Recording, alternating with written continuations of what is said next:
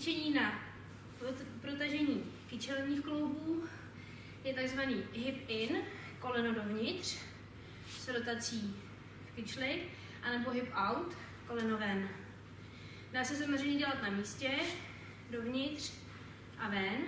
Důležité je se u toho nějak nekrotit, držím rovně, hop, hop. A nebo můžeme zařadit tento cvik do pohybu vpřed. I do pohybu pozadu.